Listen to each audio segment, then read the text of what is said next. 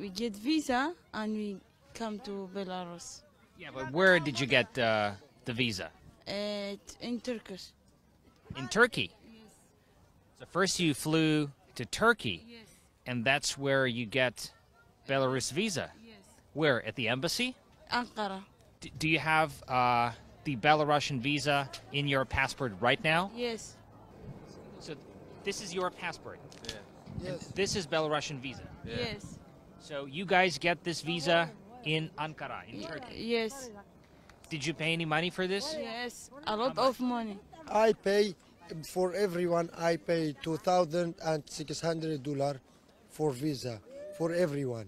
Me and my mom and my wife and my brother.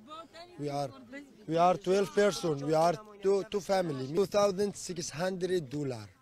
It is for visa, for hotel, and for uh, healthy, our healthy. And them say that company say you have 14 days stay in hotel in days three get out in street in hotel say your time finish in hotel